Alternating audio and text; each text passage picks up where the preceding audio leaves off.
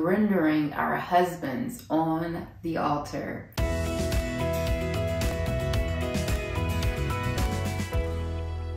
Hey, my name is TJ, and welcome to another episode of A Journey of Discovery.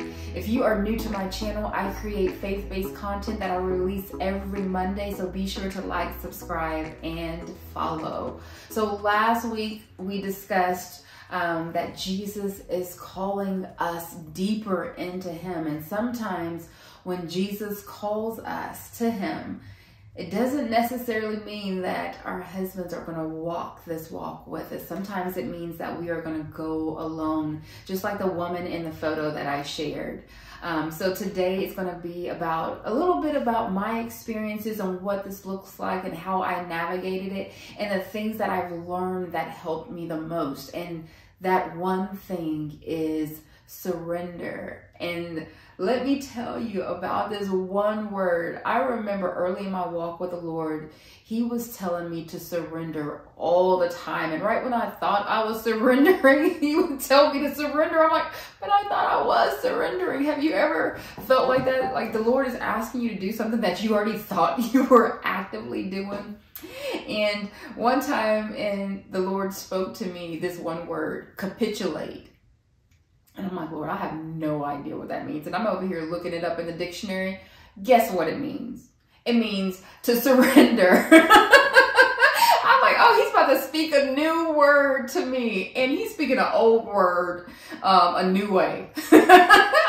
I don't know. Like, God has a funny sense of humor. So whether we're going to say surrender, capitulate, yield, they all mean the same thing. And the reason I want to talk about this today is because what does it look like for you to surrender your husbands, your spouses on the altar?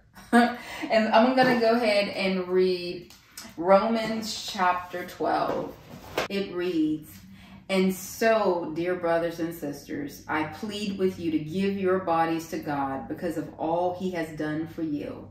Let them be a living and holy sacrifice, the kind he will find acceptable. This is truly the way to worship him.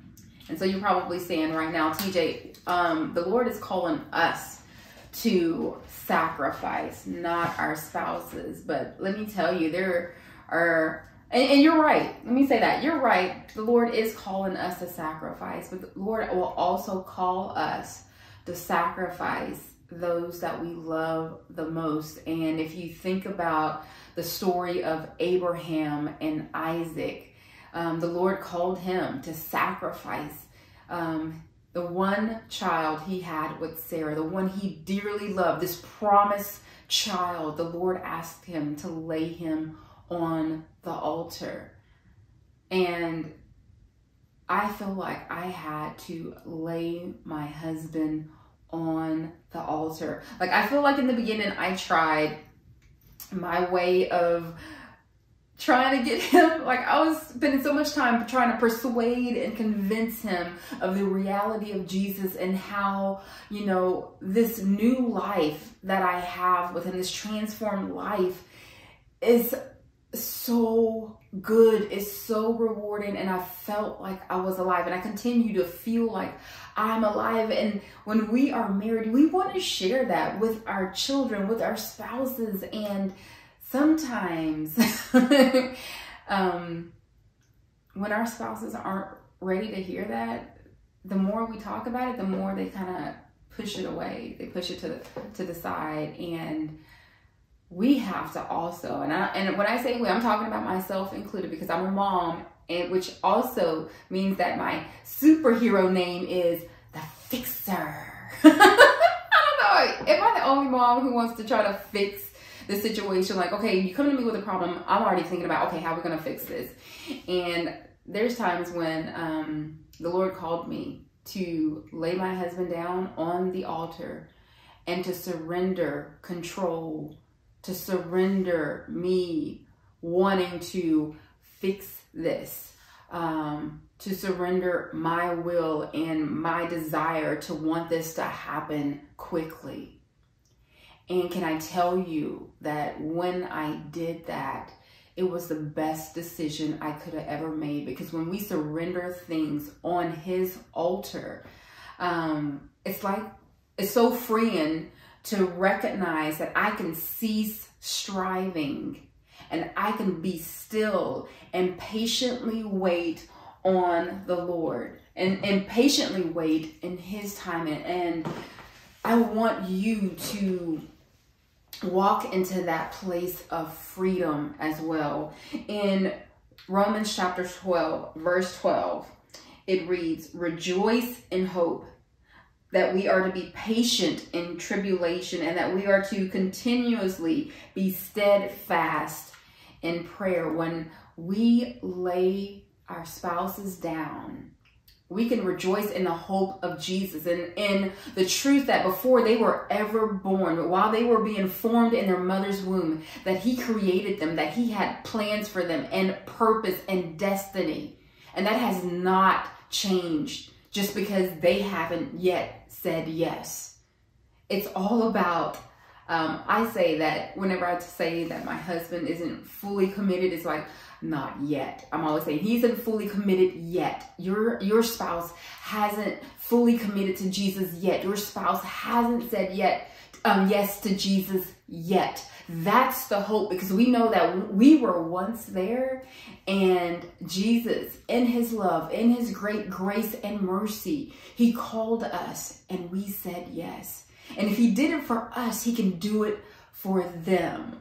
And so um, let me tell you what else it means um, when we surrender our husbands at on the altar. It means that we not only let go of control, but we also close this. And that can be hard because we have to, that means that we're trusting the Lord. And it's especially hard when you see them making um, these forward steps, right? And then all of a sudden they make a wrong choice or they make steps or they take steps backwards. And it's learning how not to become overwhelmed or feel like, oh my gosh, we're going in the wrong direction. Things are never going to get right. You know, to, to, disempower hopelessness, to disempower feeling hopeless and defeated, you, know, um, by trusting and adhering to God's word. You know, faith is walking by um, what we don't see. It's walking by those revelations that the Lord has given us, those promises, and we're holding steadfast to that, and we're not going to let what is happening in the natural deter us from the hope that we have received in Jesus when he's when we believe that he is calling our spouses too. So let me encourage you. I don't know where your husband is at right now in his walk with the Lord, but where he is is not where he's going to be because you know why?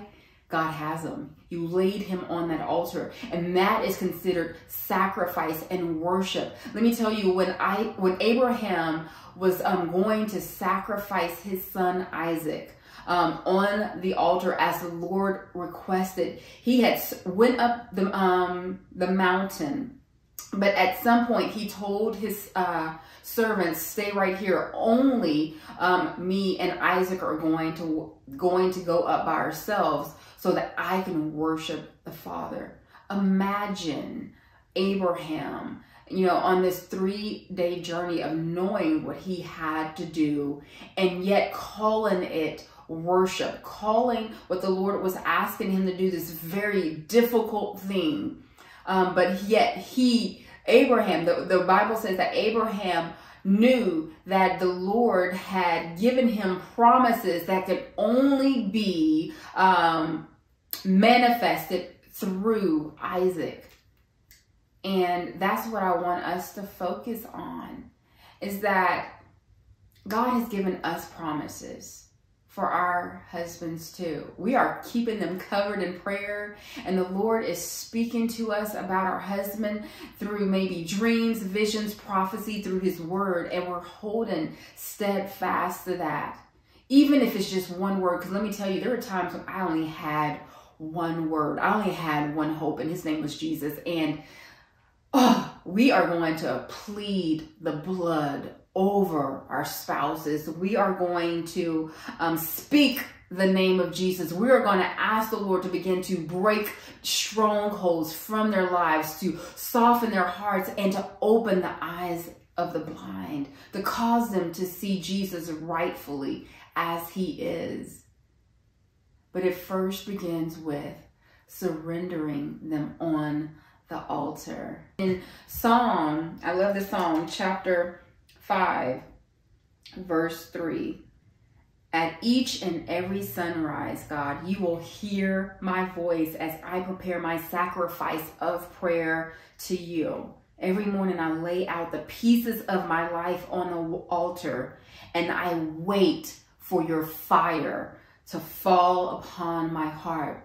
Well, think about this in the context of our spouses that each and every day we are offering sacrificial prayer, right? And sacrificial prayers when we are like, oh my gosh, Lord, I don't know how this is going to work, what this, what this is going to look like. I'm not going to get overwhelmed, but I'm just going to trust in you. I'm going to turn my focus from what is and I'm going to put it on you. And that, you know, every morning we are giving our spouses over to the Lord and we're waiting for that fire of the Lord to fall upon their heart. Because this is where the place of transformation begins. So today, Lord, I just ask that you would cover our husbands, that you would make yourself known to them, and that as wives, Lord, we will trust and believe your promises even in the waiting and we will learn not to interfere in what you're doing, but that we will lean onto you. Lean not unto our own understanding, but in all our ways, we're going to submit and surrender to you, Lord, so that we can give you room so that you can do what only you can do. In Jesus' name, y'all be blessed.